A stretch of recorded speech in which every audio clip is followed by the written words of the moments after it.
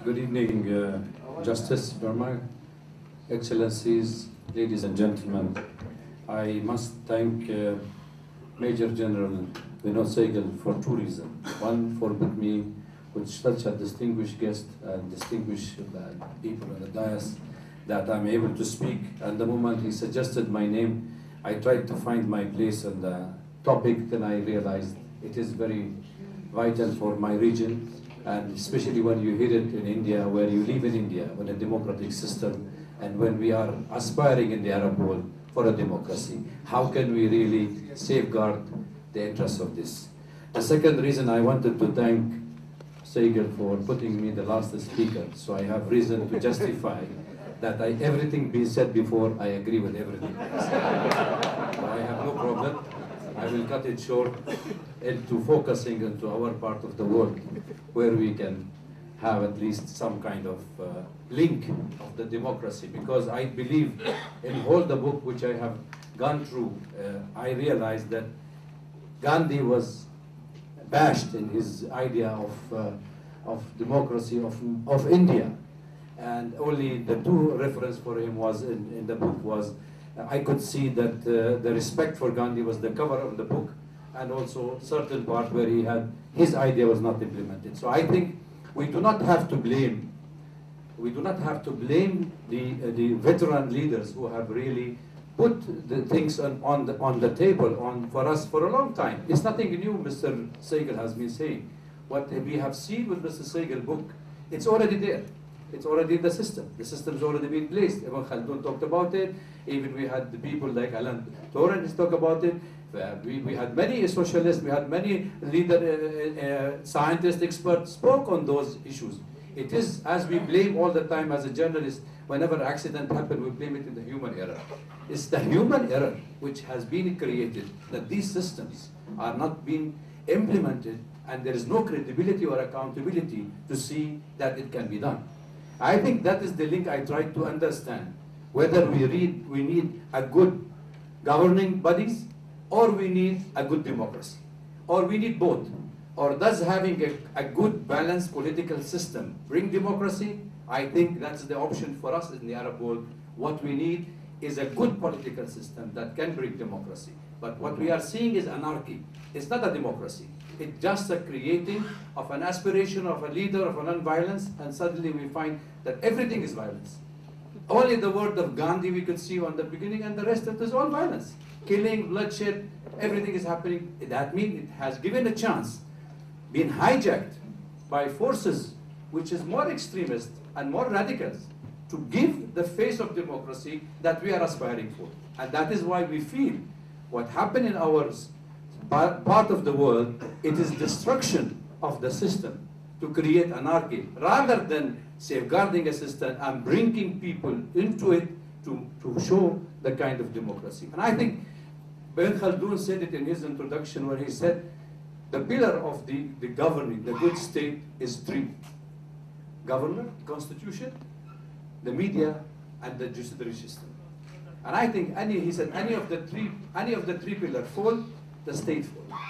So therefore, if we are able to safeguard these three systems, three pillars of the good state, then the state is in a good health. And that's, I, I applaud the Indian system because I think more than three decades I spent in South Asia and in India took the rest, most of my life in this country. And I have traveled extensively in India. I covered all the elections. I find so many things interested that really we wanted to apply in the, our Arab world for the Indian kind of system that we wanted to see democracy really. We are all aspiring for it. We have it, but we do not apply. People will go in the envelope, they will get the money and they just go. They don't care who's the politician come. But for the last 10 years, you notice that people now know. They wanted to have their part of the talk.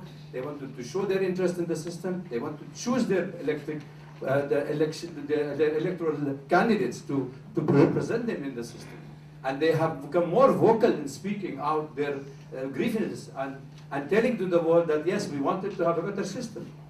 So I think, I think this is what, what we need in our part of the world is to have that kind of a system, which I think the accountability and credibility in which you have argued in your book give me that kind of strength within me that yes, it's still we can have and we can achieve what we want.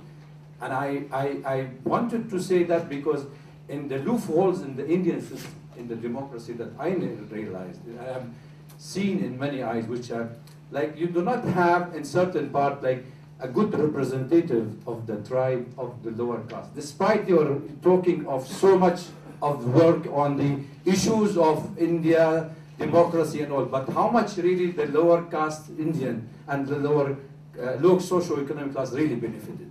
That is what I felt because I traveled 30 years in India. Certain part of India, the infrastructure the same. So it take me back memory 30 years, you know, you look back, you see nothing changed. Then where is the change? It is still a human error because there is a link between the authority and the wealth. And once the people and the authority, I am not speaking of Indian, I'm speaking of Arab world, our own experience. When you link the authority with the wealth you have, that means you will become part of the system that you are competing with the people. No, neither the common man can benefit, nor the politicians or nor the, the, the uh, economic uh, section, uh, sector, sector can benefit. So there is a conflict of interest between the two. Therefore, as we say in Arabic, the, the, the head of the, uh, the fish create rotten first. It shows that it is spoiled. So if the head of the state is rotten, that means the whole system is falling.